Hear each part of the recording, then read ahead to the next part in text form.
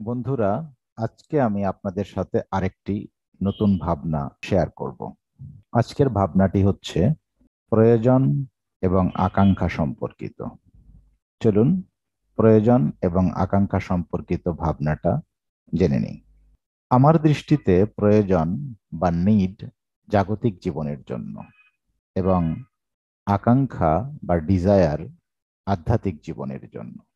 আমার ধারণায় প্রয়োজন ও আকাঙ্ক্ষার পার্থক্যটা এমন। যেমন শীত নিবারণের জন্য একটা শীতের পোশাক প্রয়োজন। কিন্তু সেই শীতের পোশাকটা কি ধরনের হবে, কোন ব্র্যান্ডের হবে, কত দামের হবে, এগুলো যখন আমরা ভাবি, তখন তা আকাঙ্ক্ষার স্তরে চলে যায়। আবার ধরুন, বেঁচে থাকার জন্য খাবার আমাদের একটা প্রয়োজন। কিন্তু যখন আমরা এই প্রয়োজন মেটানোর সময় ভাবি যে, কি খাব? কোথায় খাব? বাসায় খাব নাকি রেস্টুরেন্টে খাব?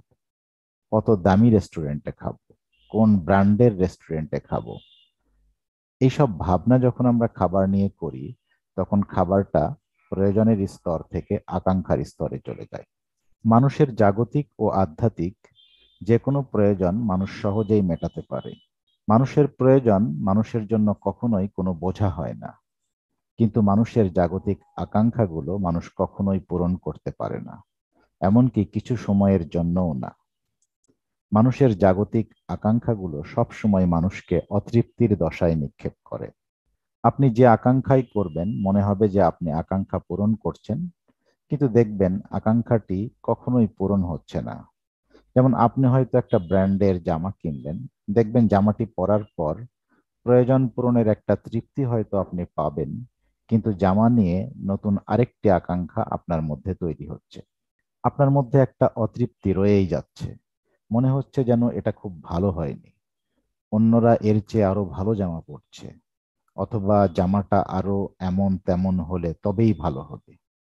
এভাবে দেখা যায় যে জাগতিক আকাঙ্ক্ষাকে কখনোই পূরণ করা যায় না। কিন্তু জাগতিক প্রয়োজনকে সবসময় পূরণ করা যায় বলেই আমরা পৃথিবীতে বেঁচে থাকতে পারি। ভালোভাবে বেঁচে থাকা বা বাঁচার মতো বাঁচা এরূপ ধারণাগুলোও এক ধরনের জাগতিক আকাঙ্ক্ষা। আধ্যাত্মিক মানুষ ছাড়া কেউই মনে করে না যে সে ভালোভাবে বাঁচার মতো বেঁচে আছে।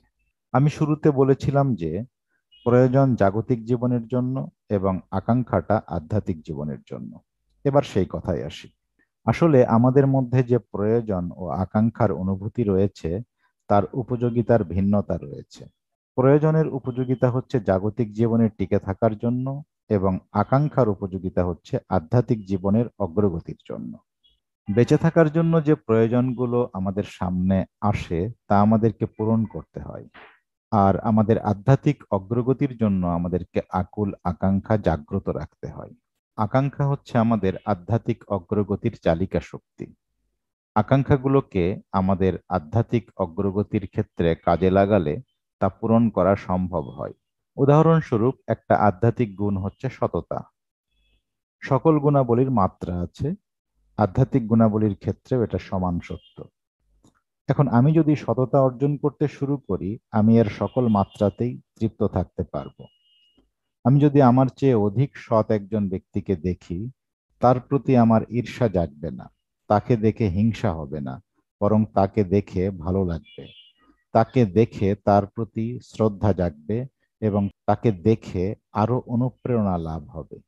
তার সাথে কখনোই ঝগড়া, যুদ্ধ, মারামারি এগুলো হবে না। এবার আসুন আমরা জাগতিক আকাঙ্ক্ষার দিকে তাকাই। বসবাসের জন্য গৃহ একটা প্রয়োজন। কিন্তু ধরুন আমার আকাঙ্ক্ষা, আমি একটা প্রাসাদ তুল্য বাড়ি বানাবো। এবং আমি বাড়িটা বানানো শেষ করার পর একটা সাময়িক তৃপ্তি অনুভব করতে পারি। কিন্তু যখনই দেখব আমার বাড়ির পাশে বা আমার এলাকায় অন্য কেউ আরও বড়, আরও সুন্দর একটা বাড়ি বানিয়েছে, তখন সাথে সাথে অতৃপ্তি এসে ভর করবে আমার উপরে। এবং যে ওই বাড়িটি বানিয়েছে, তাকে আমার হিংসা হবে। তার প্রতি আমি জেলাস ফিল করব। এবং তখন এত কষ্ট করে একটা প্রাসাদ সম বাড়ি বানানোর পরেও আমি অতৃপ্তিতে ভুগব। তখন মনে হবে যে, তার চাইতে আরও বড়, আরও ভালো আরেকটি বাড়ি আমাকে বানাতে হবে। এভাবে যদি আমরা জাগতিক বিষয়ের জাগতিক আকাঙ্ক্ষাগুলোর দিকে তাকাই, দেখব যে এই আকাঙ্ক্ষাগুলো সর্বদাই আমাদেরকে অতৃপ্ত রাখে এবং সর্বদাই আমাদের জীবনকে দুর্বিষহ করে তোলে। কিন্তু যদি আমরা আমাদের আকাঙ্ক্ষাকে, আমাদের আধ্যাত্মিক অগ্রগতির জন্য ব্যবহার করি, এটা সর্বদা আমাদেরকে পরিতুষ্ট রাখবে এবং সর্বদা আমাদের জীবনকে সুন্দর করবে। এভাবেই আমার কাছে মনে হয়েছে যে প্রয়োজনটা হচ্ছে জাগতিক এবং আকাঙ্ক্ষাটা হচ্ছে আধ্যাত্মিক। তাই আমরা পৃথিবীতে যতদিন বেঁচে আছি, ততদিন বেঁচে থাকার জন্যই প্রয়োজনের অনুভূতিটা টিকিয়ে রাখতে হবে এবং প্রয়োজনের অনুভূতিটা শুধু জাগতিক জীবনের জন্য ব্যবহার করতে হবে। আর আমাদের মধ্যে যে আকাঙ্ক্ষা আছে, সে আকাঙ্ক্ষাকে আধ্যাত্মিক অগ্রগতির চালিকা শক্তি হিসাবে ব্যবহার করতে হবে। বন্ধুরা, এই ছিল আমাদের আজকের ভাবনা। আজকের ভাবনাটি আপনাদের কেমন লাগল তা কমেন্টস করে আমাদের কমেন্টস বক্সে জানাবেন। আপনাদের চেতনায় ভাবনা জাগরিত হোক, আপনাদের জীবন সুন্দর হোক। এই কামনা করে আজকে শুভ বিদায়।